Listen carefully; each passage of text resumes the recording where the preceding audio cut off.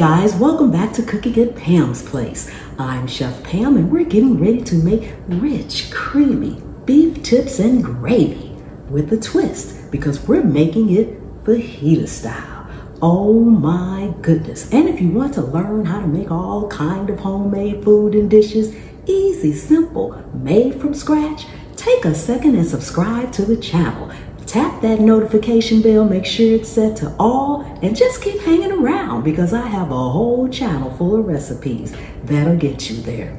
Let's get busy. Guys, let's go over our ingredients. Here we have the star of the dish, our beef. Now I'm using stewed meat, but you can use any kind of beef you want. And if you do choose beef, you can also use chicken, turkey, any protein that you want in this recipe.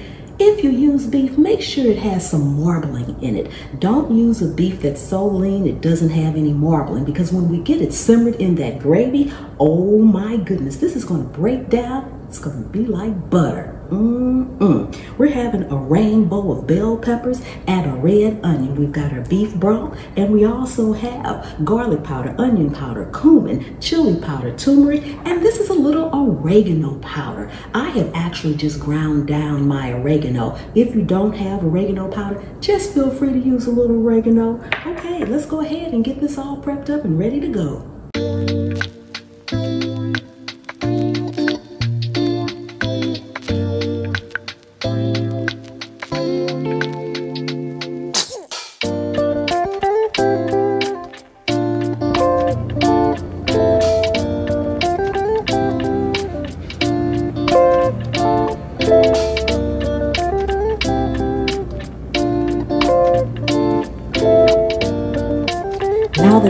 Veggies are cut up, we're going to go in and get our meat seasoned up so that we can sear it off. Just add all your seasonings in here. That was cumin and turmeric.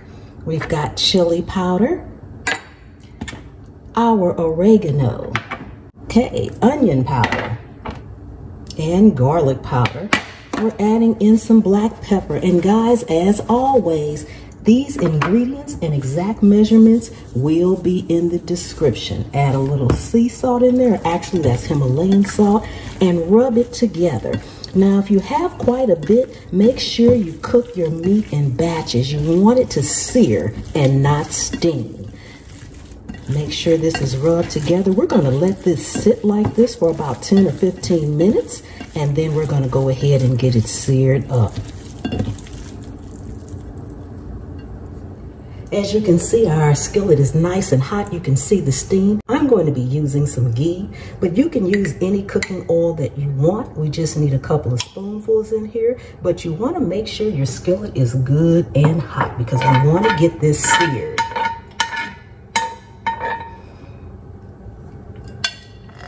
Go ahead, add your meat in.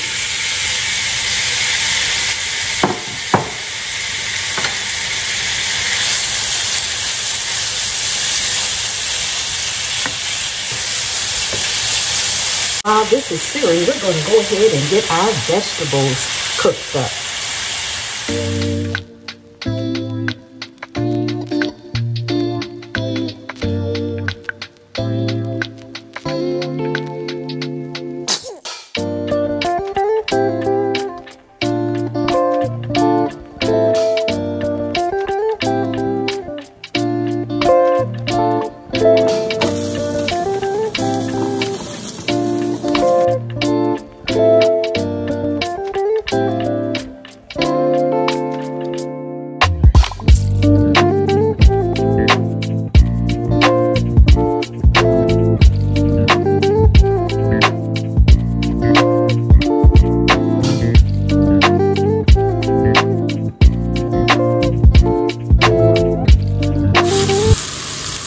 Meat is nice and seared.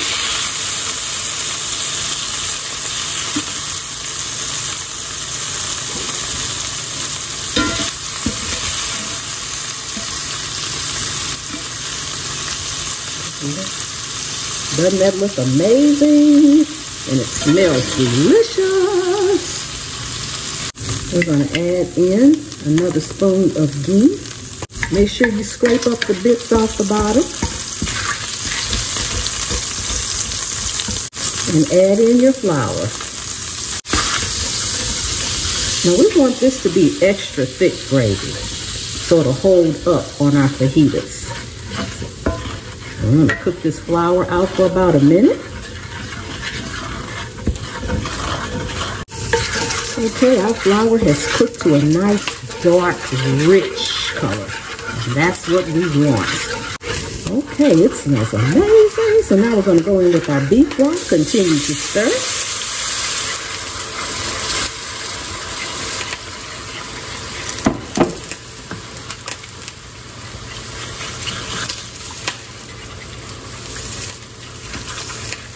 Now we're going to go in with a little heavy cream.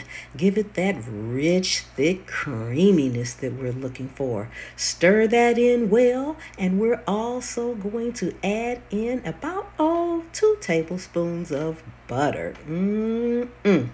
Now let this butter melt. Once the butter melts, we're going to be ready to add in our beef. Okay, we're going to add back in our meat and all the juice from the bowl. I'm to let this simmer for about 10 or 15 minutes and we're going to prepare our flour tortillas. Okay, so let's heat up our flour tortillas. We're going to add a half a tablespoon of butter and we're just going to go ahead and get these toasted up. Let it cook on one side.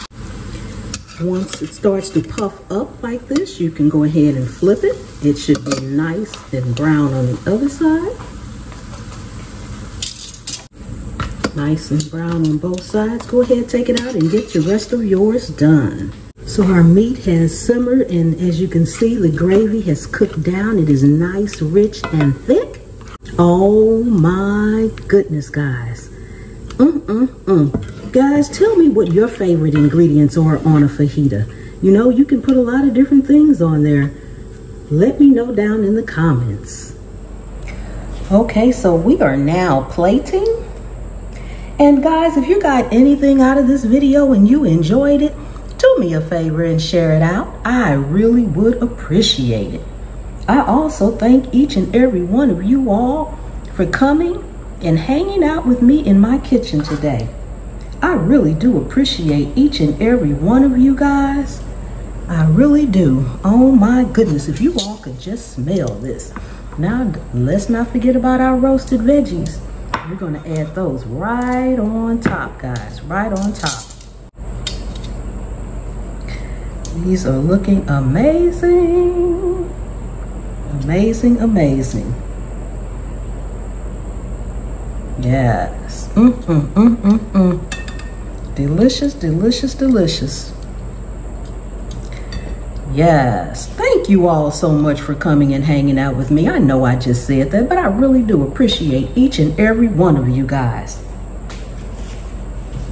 And I will see you next time. The good Lord willing and the creek don't rise.